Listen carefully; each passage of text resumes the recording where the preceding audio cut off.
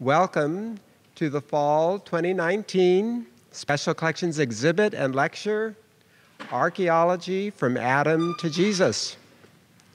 On exhibit here in the Rotunda are antiquities from APU's Bible Lands collection.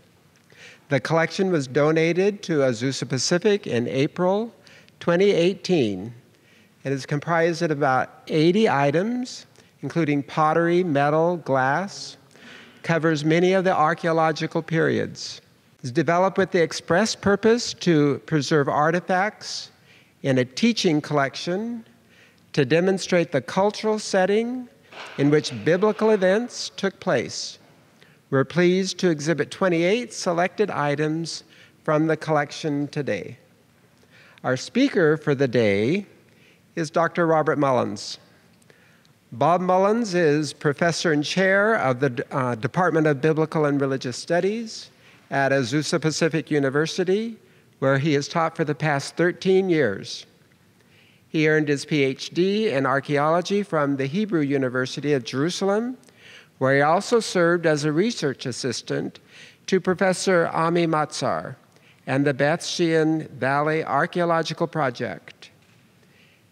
In addition to archaeological works in Jerusalem, Beth Shean, Tel Rehov, and Gezer, Bob has also excavated at Tel Atchana and Tel Jaziri in southeastern Turkey. Bob currently co-directs the archaeological excavations at Tel Abel Bet Maacah on behalf of Azusa Pacific University with two longtime friends and colleagues, Dr. Naama Yahalom-Mack and Dr. Nava Panitz Cohen of the Hebrew University of Jerusalem. Two of Bob's most recent publications are The Late Bronze Age with Eli Yannai in Volume 3 of The Pottery of Ancient Israel and Its Neighbors, and the Old Testament portion of The Atlas of the Biblical World with Mark Vitalis Hoffman, recently published by Fortress Press. Please join me in welcoming to the platform Dr. Bob Mullins.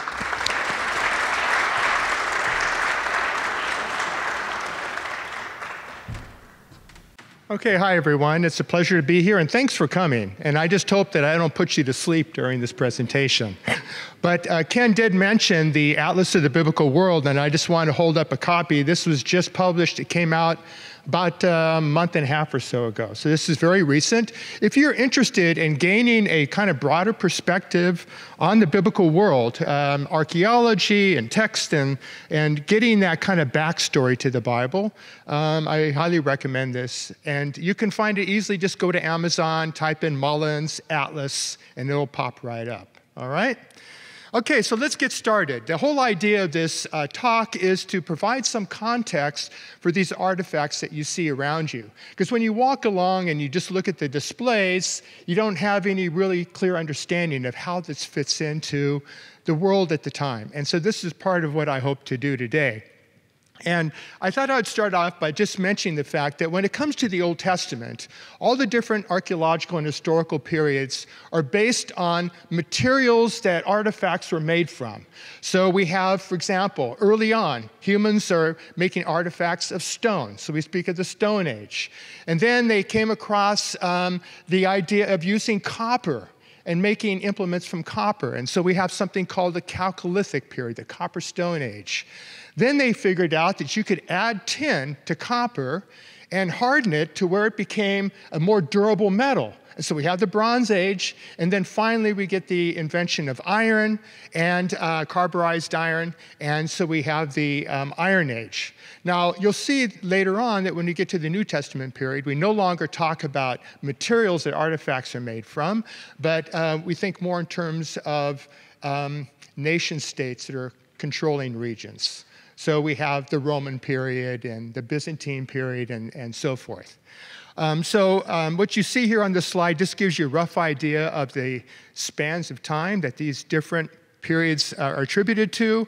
Um, for my talk today, we're going to be focusing mainly on the end of the Stone Age, called the Neolithic period. We're going to skip to the Bronze Age and we'll get into the Iron Age, because these are the artifacts that we have on display. Now, um, that tail end of the Stone Age is today called the Neolithic period, New Stone Age. And this is a time when people have transitioned from hunter gathering economy to a predominantly agricultural economy, growing their own food rather than going out and finding it and, and bringing it home.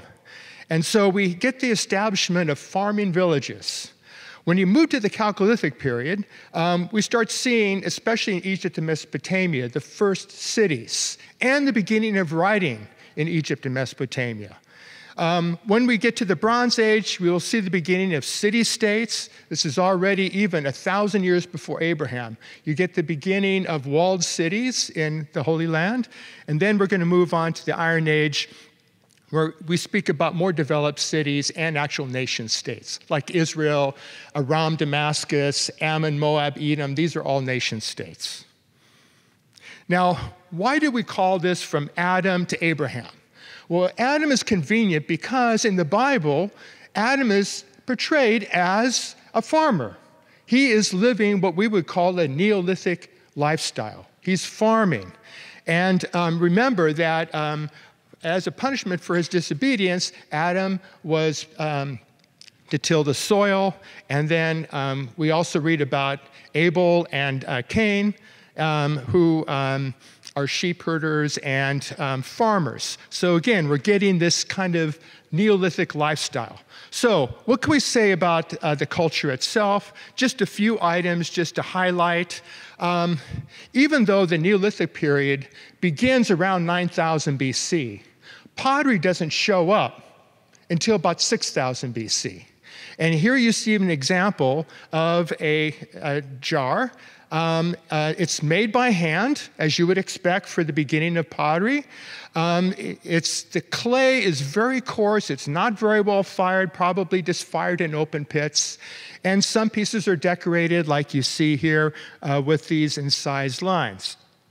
Now, on display, we have uh, a, a, one of the bowls that it's somewhat similar to what you see the arrow pointing to, um, which is our example of the Neolithic period. And uh, so what you're seeing here doesn't start until about 6000 BC. Now, of course, you ask the question so, what did people do before 6000? What did they do before there was pottery? Well, we know that they had. They used skins, they had implements made of wood, and we also know that they had basketry. And we know this because there is a cave nearby the Dead Sea called Nahal Hemar, where inside the cave they found still preserved basketry from the Neolithic period, from about 5000 BC. And uh, because of the dry climate, it's been preserved. And uh, one of the things that uh, experts have noticed is that the basketry is very intricately woven. In other words, there's already been a long history of making items from, uh, from basketry.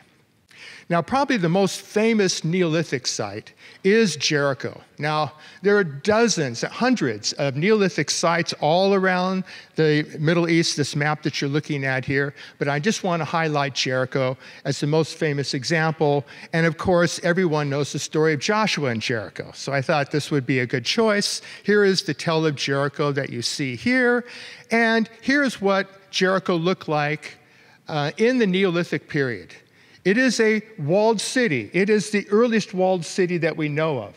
And so, for this reason, um, archaeologists, and even if you ever visit Jericho, you'll see signs saying the world, world's oldest city. And, um, and this is partly why. You have a city wall that protects it, and inside you see these round houses where uh, people live their lives. And they even have a watchtower on the wall there to kind of view the surroundings.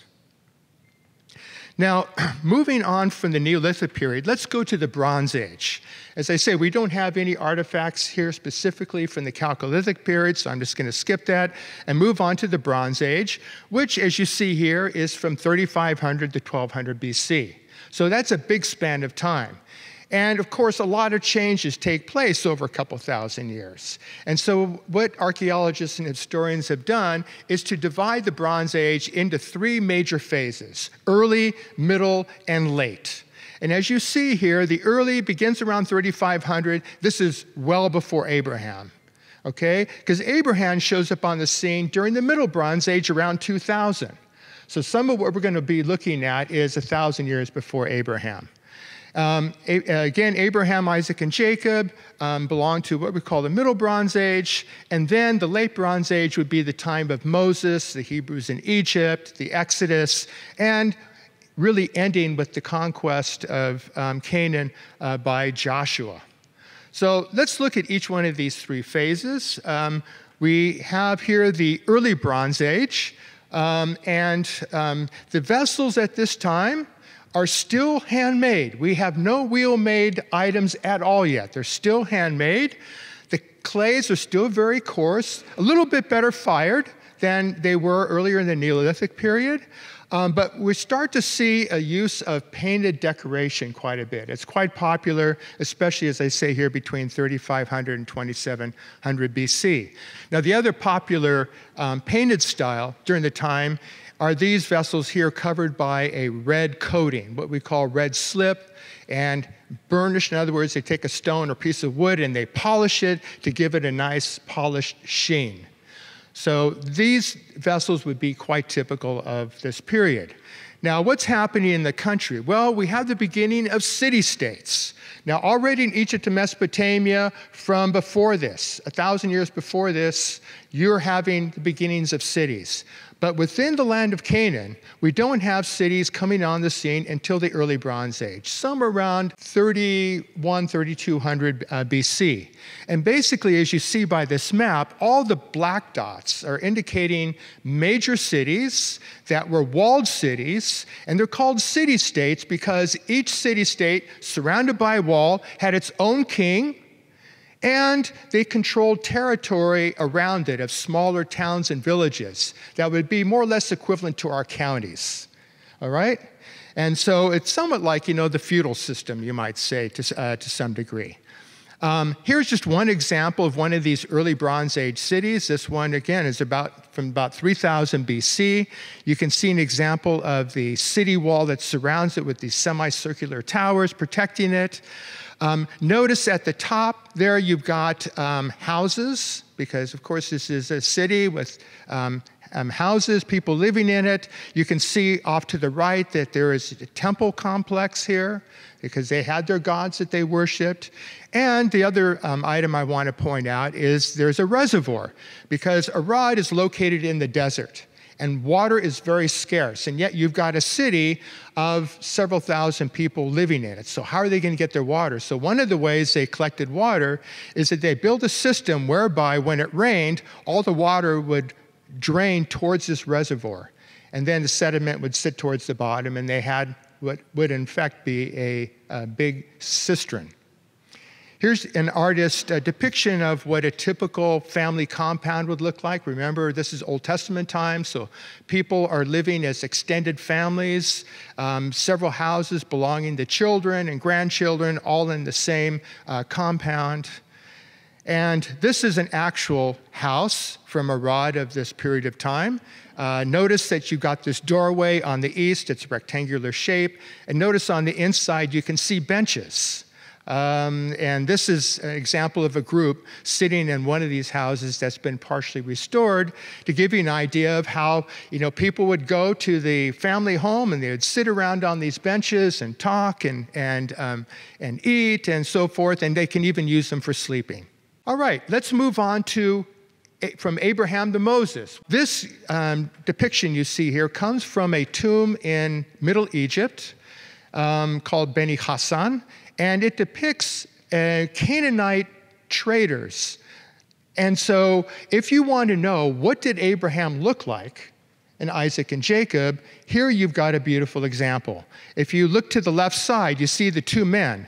One is holding a composite bow, which is becoming very popular precisely in this period of time. He also is holding a battle axe in his right hand, which they would use in warfare, a sharp blade that they basically would crack the skull of uh, their opponent. Um, you can see how the women are dressed. By the way, looking at their colorful clothing, who does this remind you of? If we think about the patriarchs, Abraham, Isaac, and Jacob, who does it remind you of? Joseph and the coat of many colors, okay? This is the kind of thing that is in the mind of the biblical readers, all right? Um, and you'll see that they have donkeys as um, animals for um, uh, bear, uh, beasts of burden. I might also point out the second man from the left, uh, to the right of the man on the left there, is holding a lyre. This is just like the lyre that David would have played. Same style, didn't change over thousands of years. And here's a typical ves- vessel of the Middle Bronze Age. Um, this one is thrown on the fast wheel. This is the period, Abraham, when we begin to see potters sitting down and using a kick wheel to spin very, very quickly to um, um, make um, beautifully shaped uh, forms. The clays are very fine, the firing is first rate, and when decorated, this red polished slip is um, what's very, very popular. Now, based on um, archaeological finds as well as Egyptian depictions, uh, we have this artistic recreation of a typical Canaanite family in the time of Abraham, Isaac, and Jacob. So, again, Abraham himself would have looked something similar to this. Uh, notice the beards, um, notice um, the, um, the furniture that they're sitting on. How do they know what this furniture looked like? We do have some depictions on Egyptian uh, tombs of furniture, but actually, the furniture that you see here was found in a tomb in Jericho. Again, because of the dry climate, it's nearby the Dead Sea, wood survived 4,000 years. And so um, the artist then is using actual furniture um, as examples of, uh, for his uh, depiction here. You also see on the table there, the arrow is pointing at a vessel, typical again of the time of Abraham and the ancestors. Uh, notice the woman reaching into a storage jar where they can keep grain, they can keep wine, they can keep oil. And um, notice that you have the different uh, fruits of the land. You have pomegranates, you have wheat, barley, you have dates, all kinds of goodies. And seeds of these have been preserved in tombs. So we know a lot about their diet. Now, to help illustrate uh, the patriarchal period, I want to use um, our site, APU site of Avel Beit Ma'acha, as an example of some finds and what a typical city would have looked like in the time of Abraham. Now, as uh, Ken mentioned, um, I direct this, uh, co-direct this project uh, on behalf of APU with my two colleagues from the Hebrew University, Naama and, and Nava Panitz Cohen, who I've known for many, many years. And um, all three of us were students of this fellow that you see standing in the middle, probably one of the most well respected archaeologists in Israel today, Amichai Mazar, flanked by two APU students that dug with us on the dig. So let me make a little plug. If you would be interested in coming digging with us, in 2021, there will be an APU study tour to Israel, where there'll be a two week um, study tour of Israel, followed by uh, two weeks on the dig for those that would be interested in extending their stay and digging with us. If that doesn't work for you, um, you can still join us. We're digging every summer. And we can do an independent study if you want to get uh, credit uh, for it. So, all you need to do is if you're interested, just drop me an email. Just type in Robert Mullins, it'll pop up on your APU email, and then we can uh, work something out. Now, the site of Avel Beit Ma'acha is located right smack on the border of of Lebanon and Syria today. And this was not only the case today, but even in antiquity, it was also in a borderlands region. It's just that then Lebanon was known as Phoenicia, Syria was known as Aram, and Israel, of course, was Israel. And here, this photo shows you how close we are to uh, the Lebanese border. But quiet, secure, beautiful place to be. And to give you a little bit of an impression of the tell, I want to show you this video we took last summer using our drone. And here we're approaching the tell from the south. Uh, area F there at the uh, bottom is the southern tip of the city uh, where we found fortification walls from the time of Abraham. And the drone is now turning north And as it goes up the lower city, this very elongated tell, look to the right, that little square area we just opened up this summer where we found an inscription that I'll, I'll talk about in a little bit. Uh, that big tree is where we have our breakfast every morning out in the field. And then we're coming up on Area A. This is our largest and most important area. This basically um, uh, documents uh, the period of the judges through the time of King David. So, um, stories in the Bible, like the wise woman of Avel Beit Maacha, are um, belonging to this phase that you just saw there. Now, the drone is flying to the upper city, on the higher part of the tell, and you can see Area B, where we have a large um, Israelite period uh, building, um, some sort of administrative building. Some of you that may have heard of the little faience head that I'll show you a little bit later that may depict a biblical king was found inside that building. Uh, the drone is now flying along the northern edge of the site, so you can, by looking down, you can see how elongated this tell is. It's about 25 acres in size. Uh, those little bumps that you see at the very northern end are Israeli army bunkers. All right? And as the drone flies now along the western side, you get another glance of Area B in the upper city. Um, all this area would have been inhabited in the time of David and also during the divided monarchy.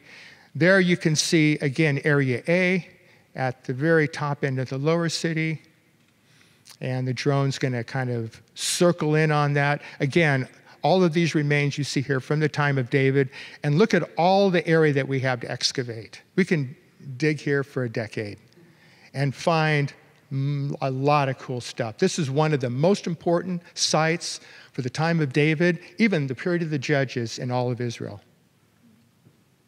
And here you get a glance looking down the Hula Valley, the upper Jordan Valley, towards the Sea of Galilee, which is about a 45 minute drive uh, to the south. Well, here's how um, we think the city would have looked like in the time of Abraham. Remember, we talked about city states in the early Bronze Age. We had city states also in the Middle Bronze Age. And again, you would have a walled city with a king controlling territory of smaller towns and, and hamlets and stuff surrounding it. Um, most of these cities, including our site, has the lower city, and then the upper city is where you have this Acropolis, where you would have your temple, you would have your palace that the king lived in, and so forth. Uh, just to kind of feature one of the nice pieces we found at, at our site from the time of Abraham is this nice uh, juglet here that you can see again, beautifully decorated, wheel made, very um, well done. All right? Now, the period that follows the time of the ancestors would be the late Bronze Age, which is the time of Hebrew bondage in Egypt, Moses, and the Exodus. Now, the pottery is pretty much continuing the same tradition of the Middle Bronze Age, but there is some deterioration. They're not using the fast wheel anymore, they're using a slower wheel. And um, the firing and decoration isn't as well done as it used to be. And some of this reason may be for what I'm going to talk about in just a moment. But I want to just point out that you can see the decorative motifs that they have here, and especially on the left side. This motif of the date palm tree, which represents the tree of life in the ancient Near East, including ancient Israel flanked by two ibex. This is a persistent theme in, in Canaanite uh, um, decoration and even in Israelite as well, as we'll be seeing uh, a little bit uh, later. So, what were the political situations at the time? Well, throughout the late Bronze Age, after the time of Abraham, um, up to Joshua, Egypt is controlling the land of Canaan. And you see how um, the gray swath goes up uh, where Israel is today. This was all under Egyptian control, Egyptian administration. Now, why did the Egyptians want to control Canaan? Well, a couple of reasons. One is, is to milk the country for a lot of its agriculture, that uh, items that cannot be grown in Egypt were in abundance in Canaan. And so they could bring these goods uh, to Egypt. The other is, is that you had a couple of big empires at the time that were wanting to push their way southwards the Hittites and the Hurrians of the kingdom of Mitanni. And so Egypt wanted to be in Canaan in order to hold them back so they don't invade Egypt. The other thing that interested uh, the Egyptians and everyone living at the time is trade, Mediterranean trade. Particularly coming from the Aegean world and from the island of Cyprus, which was then called Alashiya. Uh, we don't have any of the Aegean or Cypriot um, pottery um, available to us here, but this just gives you a kind of a visual idea. So the late Bronze Age is a time of internationalization, um, trade and, and exchange going on throughout the ancient world at the time. Now, um, at the very southern tip of the uh, city of the Middle and Late Bronze Age, uh, we have this tower that the circle is surrounding. And I'm highlighting this because we had a very, very nice find on the floor of a room abutting this tower, um, dating to the time of Moses. And this woman, Diane, is holding a small jug. And what was amazing is that inside this jug was found this hoard of silver. You see all these small broken pieces of silver, you know, um, earrings and so forth. These were used in monetary exchange because coins are not around yet. And so the way that people did monetary exchange was to take a valuable metal like silver or gold and weigh it. So the shekel, that's so well known from the Bible, is not a coin, but a unit of weight.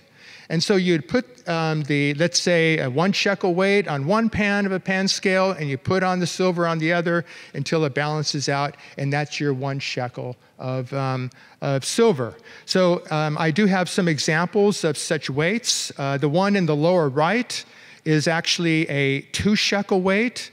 Um, above it, we have a weight called the pim.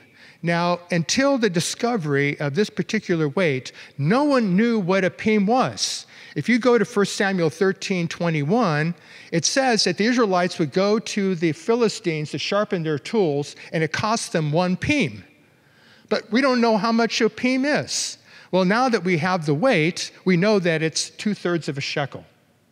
And you'll read that actually if you have, let's say, an NIV Bible, it will actually tell you two thirds of a shekel. They just give you the um, translated uh, unit of weight. And the one to the left of that in the upper left hand corner is a beka, it's a half shekel weight, all right? And I might point out with the silver earrings in particular, of course, we always are thinking in terms of our culture that only women wear earrings, or for the most part okay? But antiquity, we have examples like the two Assyrian men you see in the upper right wearing earrings as well.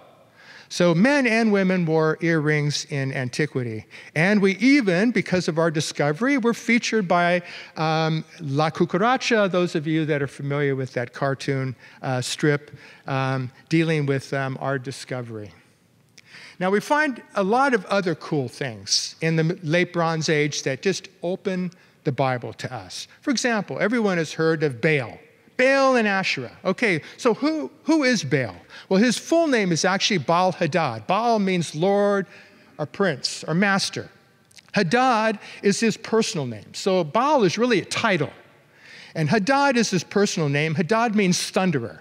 So Lord Thunderer or Prince Thunderer would be um, his uh, full name. He's symbolized by the young bull and is often depicted as standing on the back of the bull. We have a lot of depictions of Baal on the back of a bull. He had three wives. The two most, I would say, well known that are known from the Bible are Baal and Astarte, who is called actually in the Bible Ashtoreth. And also, and probably even more fam- famous than Baal and Ashtoreth, is Baal and Asherah, who was actually originally his, his father El's wife. But Baal stole away his father's wife and took her to himself. And so it's Baal and Asherah that are mentioned most commonly in the Old Testament. But again, if you're just reading the Bible without this kind of background, it's hard to appreciate this kind of larger religious culture of which Israel was a participant in, in, in some regards. Okay, let's move on to what we call the United Monarchy, um, is um, uh, from the time of Samuel, Saul, David, and even Solomon.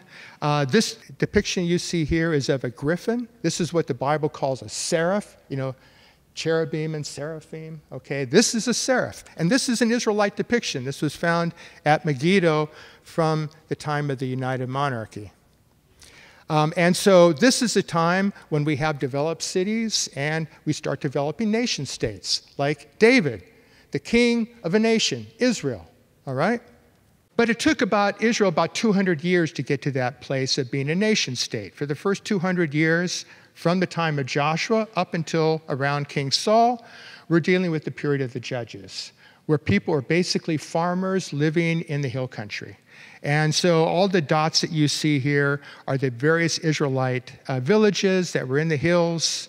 Um, and um, you have one example of Beersheba uh, here that would be typical of these highland uh, villages from the time of Gideon and other people that you read about uh, from this time. It's also worth pointing out that this is when we first start seeing Israelite writing. And this particular one is interesting. It says Ishbal ben Beda. Um, Ishbal is a name known from the Bible. He was one of Saul's son. Now, this particular Ishbal is not related to Saul. He's a son of Beda, not Shaul. But it's the same name, okay? Man of Baal, literally, is uh, what the name means. And so this name does appear on an inscription uh, at a site called Khirbet uh, Qeiyafa. Uh, but I would say that, you know, if we think about the United Monarchy, and particularly, particularly David, um, Jerusalem, of course, is the city that captures most of our imagination. And um, Jerusalem of David's time was basically a city of about 10 to 15 acres, sitting on a kind of elongated hill that's encircled by the yellow here. And notice how the mountains surrounding that are higher than the hill on which Jerusalem itself is sit. And you get that impression when you're in the city of David, you look around and all the hills are surrounding you. So if you go to Jerusalem, read Psalm 125 2 and see if the Bible doesn't come alive for you. That's a little plug to go on a trip to Israel. It is very well worth it. You will be amazed at how it opens the Bible to you. Here's an artist's depiction of what the city would have looked like in David's time. Notice how his palace is at the highest point of the hill. So when we read the story of David and Bathsheba and how David is spying on Bathsheba, who's on her rooftop, you understand why. Because he is commanding the highest point of the city. Now, David is a known historical figure. We do have an inscription from Tel Dan, a site about four and a half miles east of Avel Beit Maacah, that mentions the um, uh, Hazael, king of Aram Damascus, killing both the king of Israel and the king of the house of David, which is another way of saying the southern kingdom of Judah, because we're dealing with the lineage of David. This is the only mention that we have to date of David outside the pages of the Bible. So this is external um, evidence for the historical existence of King David. Even though the inscription itself is about 150 years later than David, it's alluding to the founder of the Davidic dynasty. Now, from the same period of David, our site of Avel Beit Maacah comes back into focus because we have a very famous story, somewhat infamous, you might say, because it involves a guy getting his head chopped off. Um, but it involves our site. A rebel by the name of Sheba has insulted David, called for revolt against him, and he hightails it to our city from Jerusalem. And so David sends Joab, his military commander, to capture him. And indeed, he is ready. He has surrounded the city. He is ready to conquer it in order to take this rebel into custody. And who negotiates with him but a woman who's only described as a wise woman? there are several things about her that intrigue us. One is the fact that she has authority. She negotiates with Joab. She doesn't say, Let me go get permission from the elders to turn him over to you. She makes a decision. The other thing is interesting is that when she's speaking with Joab, she's describing the city as a place of inquiry. The Hebrew word suggests some sort of divination going on, and a place of peacemaking, settling disputes between people. And it's interesting in this regard. Archaeologists are always looking for parallels from other countries in the surrounding Near East for, like, what is this wise woman? Do we have parallels to this? Well, we find a parallel from 300 years before David in Anatolia, which we know today as Turkey, where there are wise women, several of them, many of them even mentioned by name. And these women are ritual experts. They're involved in divination, giving oracles, purification rites. Um, they are involved in advice giving, um, and they're regarded as repositories of folk knowledge for the culture. Um, many aspects of this seem to kind of echo this wise woman of, of our site. And so, um, and we may actually have um, some indication of whatever ritual activity that she was involved in in the Davidic area of our city. You're looking now at a, a picture of a small temple or shrine. Um, where you see where it says main hall, and notice that we have this very unique installation, offering table, cult stones, and also we have this jug filled with, can anyone figure out what those are inside that jug? They are animal knuckle bones more than 400 knuckle bones of sheep, goat, gazelle, deer, most of them belonging to females. But such hoards are, in virtually every case, related to um, divination. And so, um, so this is, I think, to us is quite interesting because it may, to some degree, reflect this culture of the city that the wise woman uh, was attached to. Just this past summer, we found this very nice um, find here. It's a seal showing the face of a person on one side, and on the belly side, we have the tree of life, flanked not by ibex on both sides, but an ibex on the right and an ostrich on the left. Okay, this is an Israelite seal. So it shows the continuation of these traditions even from the earlier periods into the Israelite period. All right, let's move to the period of the divided monarchy. Um, and here too, we have a seal. This is also from Megiddo. It says in Hebrew, Lishma Eved Yerovoam, belonging to Shema, servant of Jeroboam, probably Jeroboam II, a king of the northern kingdom. Let me just point out there are a couple of capitals uh, during the divided monarchy. You have Samaria, the capital of the northern kingdom of Israel in the north, uh, Jerusalem, of course, in the south. And I just want to show you one picture from Samaria where the royal Acropolis was excavated at, at the very early in the 20th century. Uh, the drawing on the right kind of shows you the surviving outlines of this palace. And amongst the items that were found were several of these ivory depictions of cherubim. Now, again, when you read about cherubim in the Bible, cherubim guarding access to the Garden of Eden, we're not talking about babies with arrows and, you know, little cupid kinds of things, nor are we talking about angels. These are the creatures that are being spoken of here. And these are Israelite depictions. So these are the creatures that the Israelites had in mind. Uh, these were used actually as inlays to wooden furniture, to walls, and so forth. And so when you read in the book of Amos, where he's castigating the wealthy of Samaria, the capital city of the north, and saying, You live in your ivory palaces, we're not talking about palaces made of ivory. We're talking about palaces that were adorned in ivory with such ivory uh, inlays. The other capital city, uh, Jerusalem, um, a smaller city in the time of David, um, a little bit larger in Solomon's time. In Solomon's time, it becomes about 30 acres in size. But after the fall of the northern kingdom and many exiles of the north fleeing to, to the south uh, and living in Jerusalem, we get Hezekiah encircling Jerusalem and all those refugees with a city wall that you see highlighted here in orange bringing Jerusalem to 150 acres, a population of about 20,000. And this was the size of Jerusalem up until the Babylonians destroyed the city in 586. Now, many, many finds, uh, important finds come from this city, but let me just highlight a few here because I think they will be of interest. We have a seal. This is the actual seal with the name of Jezebel on one example. The other example is a fellow by the name of Abdi. Um, these are usually made of stone, precious stone, and they are carved by special carvers. And what they do is like they would wear them as signet rings on their finger or wear them around their neck. They are officials.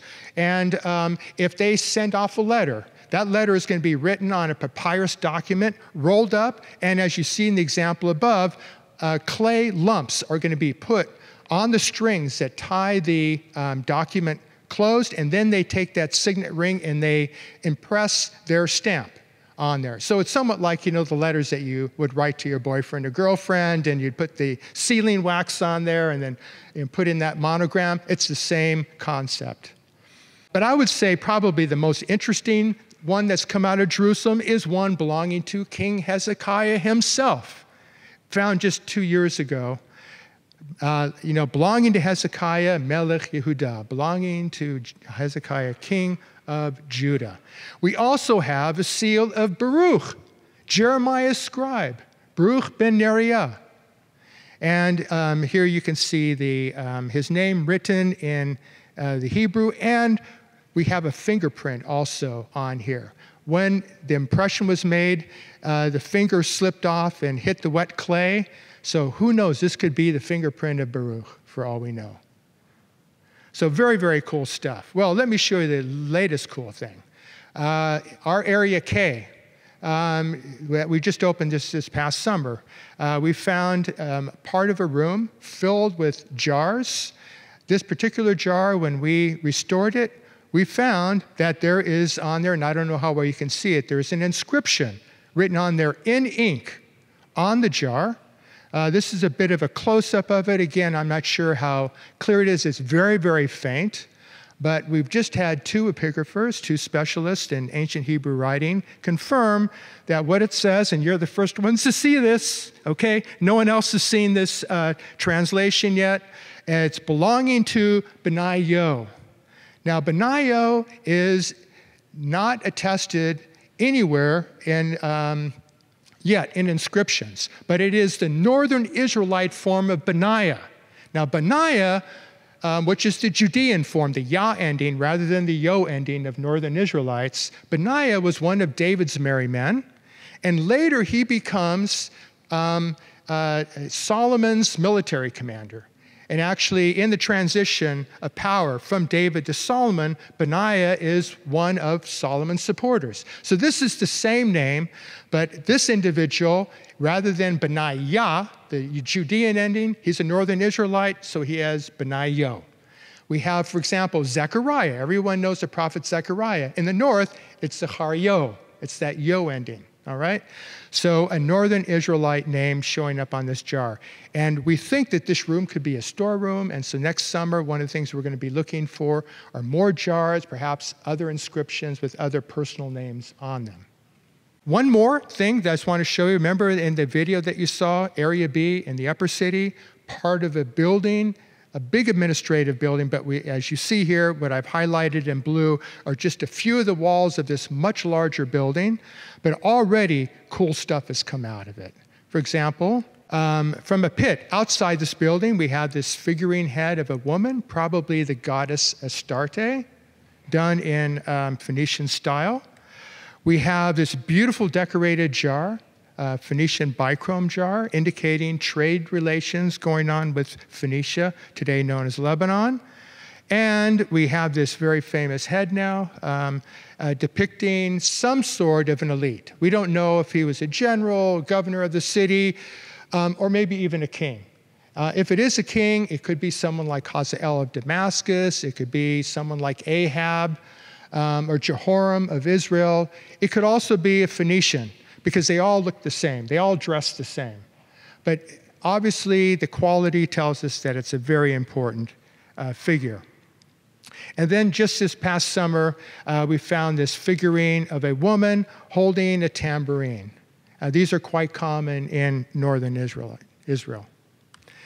And to give you a little bit better look, uh, a look at this uh, building, um, we did this past summer 3D modeling um, of all of our areas. I'm just selecting this one little bit here and just rotating it to show what can be done now with technology, where we can actually measure accurately lengths and widths of walls. Um, we can even descend down inside individual rooms and study the relationships uh, between different walls and floors without ever going back in the field. We have everything digitized and available to us. Okay, let's move on to the New Testament, and this is where I'm going to uh, wrap things up. Again, the shift is from um, uh, using materials as um, period identifiers to the cultures that actually controlled these various um, places. And so, uh, Roman Byzantine period, which would include the time of Jesus. Um, here you see some of the um, uh, maps showing some of the primary cities, including Capernaum, where Jesus ministered, Jerusalem, where he was crucified, uh, oil lamp of the period. And I put this um, passage out of Matthew 25 uh, because um, it illustrates the, it's the parable of the ten virgins. This is the type of oil lamp that's being referred to. And also Matthew 5, putting a lamp on a lampstand, not putting it underneath a bowl. Um, and so here you have these examples here. Um, when it comes to uh, Jesus, um, this is what Jerusalem would have looked like in Jesus' time, beginning with the upper room, okay, where Jesus celebrated the Last Supper with his disciples, going over to the Garden of Gethsemane, where he's betrayed by Judas, taken before Caiaphas. Uh, we know approximately the location of the house of Caiaphas. He then is uh, uh, placed in front of Herod Antipas and Pilate, Pontius Pilate, where Pilate condemns him to death by crucifixion. And then you see here the site of the crucifixion. Now, what I want to do to kind of wrap things up is to focus on the crucifixion. Um, but on the way, I just might mention that we do have historical evidence for Pontius Pilate. Um, we know that he actually lived in Caesarea, a big city on the coast, and was in Jerusalem because it was Passover time. Um, but we have coins, we have depictions, we have inscriptions, all related to this um, prefect um, of uh, Judah um, in the time of Jesus. Now, when it comes to the place of Jesus' crucifixion and resurrection, all of these are housed today inside the Church of the Holy Sepulchre, or as the original builders called it, the Church of the Resurrection. We know quite a bit about um, methods of crucifixion, in part because we have found in, in, a tomb in Jerusalem an ankle bone of a crucified man with a nail driven in. Now, according to the nail in the ankle, the man that you see, it would be on your on the, on the left side. Um, the, it appears that the nails were driven in from the side. Now, we typically think that only Jesus was nailed to the cross. This is not true. People, generally, everyone was nailed because remember, this is capital punishment. And so they want to make it as cruel and painful as possible. And so uh, these individuals, as well as Jesus, were all nailed to the cross. Now, um, this just briefly shows um, how what was originally a tomb that Jesus was buried in and nearby place of Calvary later was cut away from the hillside and enclosed within the church. We don't have the time to go through that, but I thought it would be helpful to, um, when we're talking about how Jesus was buried, especially, to compare it with Old Testament practices. In the Old Testament times, people were buried in burial caves, of which you see these small openings below the houses. These are all burials from the time of Hezekiah, the prophet Isaiah, and so forth. Now, each of these burials usually would lead to a hall where you have several rooms stemming off that central hall with burial benches on them where the bodies would be laid on the bench. Here we have a kind of an example here showing a small entrance, um, a burial bench with a kind of um, holding, uh, you know, some sort of a holder for the head uh, where the uh, body would be laid for about a year to allow the flesh to decay. Now you can see that there are more than one places for burial here, because over the course of the year, other people would die. And so you need to have several um, openings and places available for anyone that would also die during the year. Because it takes about a year to, for the flesh to fully decay. The family would return after the course of the year um, and they would take the bones, and in Old Testament times, anyways, they threw them into a common repository underneath, as you see in this cutaway drawing. This is where the biblical expression, to be gathered to one's fathers, comes from. You're literally gathered to your fathers. And your bones are thrown in with Uncle John and Henry and Frank and great grandfather. Everyone is mixed together. This is the collective identity of ancient Israel.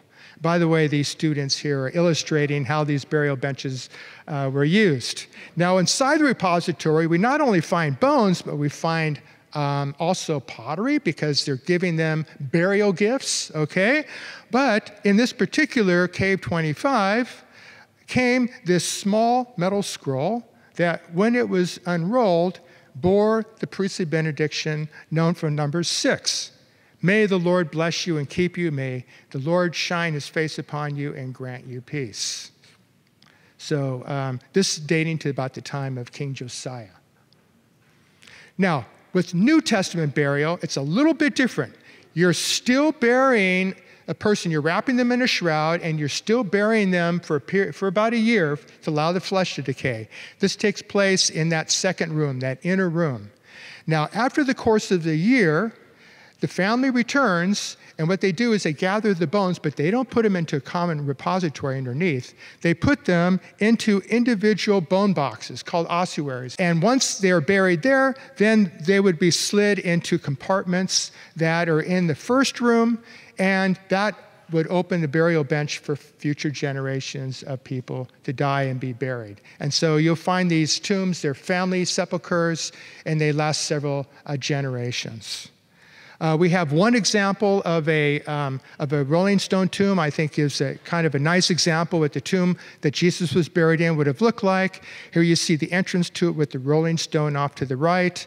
Um, the picture above is showing the first room, which is where all the bone boxes are stored. And then the inner room, you can see the burial bench uh, with that arch above it called an arcosolium, um, where the body was laid out. And then the bones gathered. So, um, the New Testament, a bit more emphasis on the individual, because uh, many of these ossuaries um, even include the name of the person, includes their profession, um, rather than Old Testament times, which is much more collective identity. And that concludes it. So, let's thank Bob for his lecture today. Thanks for job.